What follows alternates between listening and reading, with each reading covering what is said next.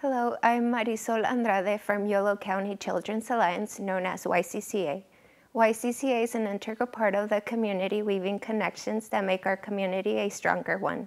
A program offered by YCCA is the Step by Step Home Visiting Program.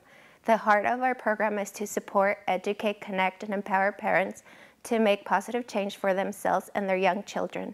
In partnership with First Five YOLO, the City of Davis, and Davis Community Care Prenatal Clinic, we're providing the service as part of the Child Project pilot, meeting expectant parents and their medical provider and helping to prepare for their baby's birth, supporting families right from the start at a time we can make the greatest impact.